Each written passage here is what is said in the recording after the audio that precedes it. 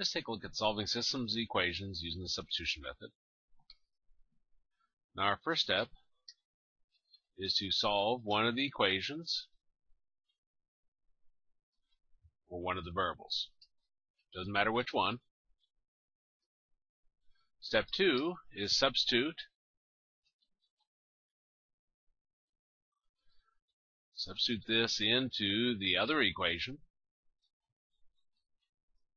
Step 3 is to solve. Step 4 is to substitute this value into the equation from step 1. And step 5 is to solve. Okay, well let's uh, take a look at this, uh, apply to our graphic organizer, see how it uh, see how it goes. Okay, we're going to take a look at this problem. 5x minus 4y equals 30, y is equal to 2x minus 9. And I see right away I should have had someplace uh, set up so I can write over here, but I'll put it right here. So we got 5x minus 4y is equal to 30. And y is equal to 2x minus 9. So that's our initial problem. Okay. Step one. Solve one of the equations for one of the variables. So solve. Doesn't matter which one you pick. I'll pick the second equation. We've got y is equal to 2x minus 9. Solve one of the equations for one of the variables. Step 2. Substitute this into the other equation. Well, the other equation was 5x minus 4y is equal to 30. And over here, we just said y is equal to 2x minus 9. It was already solved for y, so I made that step easy. So we're going to place the y here with 2x minus 9. So we got 5x minus 4 times 2x minus 9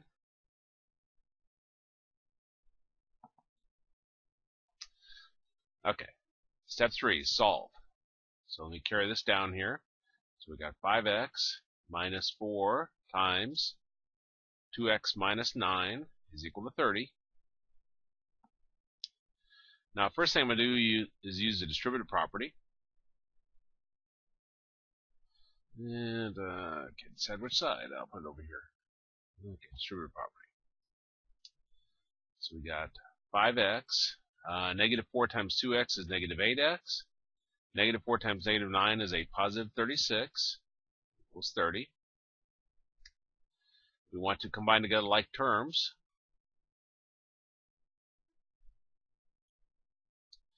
Five x minus eight x is negative three x plus thirty six equal thirty. Now we're solving linear equations, so I'm going to get uh, all the numbers over on one side. So I'll take the 36 and move it over to the right side. So we've got negative 3x is equal to 30 minus 36. They are like terms, though even though we don't uh, typically view them that way, uh, numbers, uh, they're alike. So we're going to have negative 3x equals uh, 30 minus 36 is negative 6. Then our last step is to divide both sides by a number in front of our x, which is a negative 3.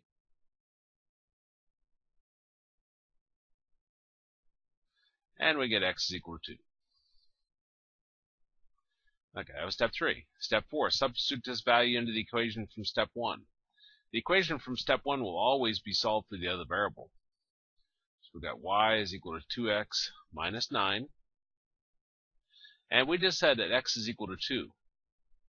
So we're going to replace the x here with 2. So we got y is equal to 2 times